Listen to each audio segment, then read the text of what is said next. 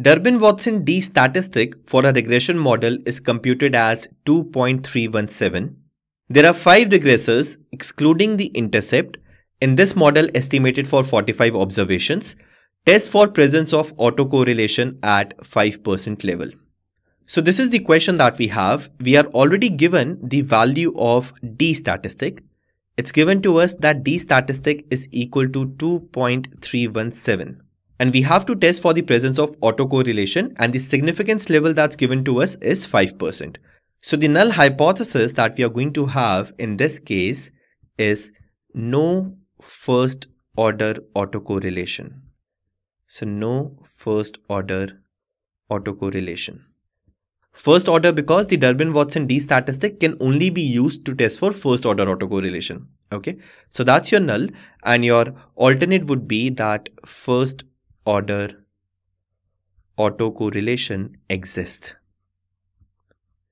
Okay, so first order autocorrelation exists. So this is your null hypothesis and this is your alternate hypothesis. So to decide whether to reject the null or not to reject the null, we have to take a look at the decision criteria that we have in this case. So the decision criteria that we have in this case is this. I've taken this image from chapter number 10 of your textbook. So over here, as you can see, we have DL, DU, 4 minus DU and 4 minus DL. This DL and DU that you see over here, these are the critical values of Durbin-Watson D statistic. Okay, and in this case, we have two critical values. DL is the lower critical value and DU is the upper critical value. So let's take a look at the table to find these critical values first. So as you can see, this is the Durbin-Watson D statistic table at 5% level of significance. We have n written over here and it's starting from 6 and going till 200. And we have k prime written over here. Now it's mentioned in the question that the sample size is 45. That means we have to take a look at this row over here, right? Now before you choose the column, you need to understand what is the meaning of k prime over here. So if I scroll over here, then you can see that n stands for the number of observations in this table and k prime is the number of independent variables excluding the constant term. This is an extremely important step because if you end up choosing the wrong column then your entire answer can be wrong. Okay, so pay attention over here. It's written over here that k prime is the number of independent variables excluding the constant term. Now what's the value of k prime in our question? In our question, we are given that we have five regressors excluding the intercept and regressors is nothing but a different name for independent variables only. So that means the model that we have over here, in that model, there are five independent variables excluding the intercept term. One of the mistakes that many people do is that they think that k prime is equal to the total number of parameters. So that means if you have a model like this,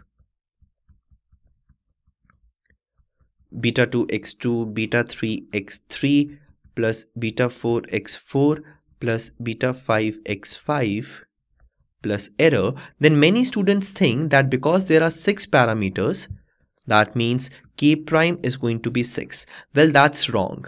Because k prime is your number of independent variables excluding the constant term. That means you only have to count beta 1 beta 2 beta 3 beta 4, beta 5, you do not have to count beta 0. Or in other words, you only have to count the number of independent variables that you have. So over here, you have five independent variables. That means your k prime is going to be equal to 5. Okay. So let's go back to the table and see what are the critical values that we are going to get. So in our case, k prime is equal to 5 and n is equal to 45.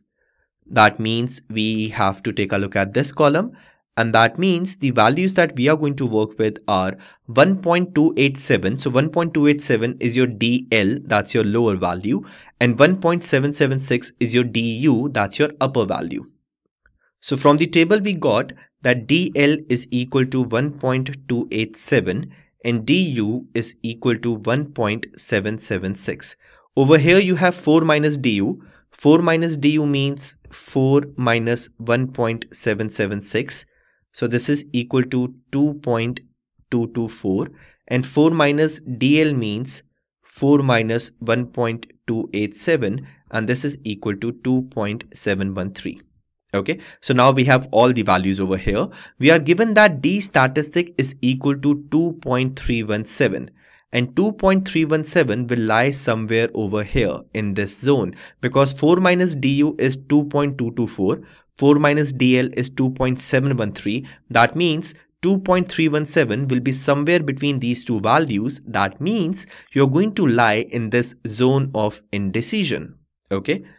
This implies that we cannot conclude whether or not autocorrelation exists at the 5% significance level. Okay. And that's it for this question.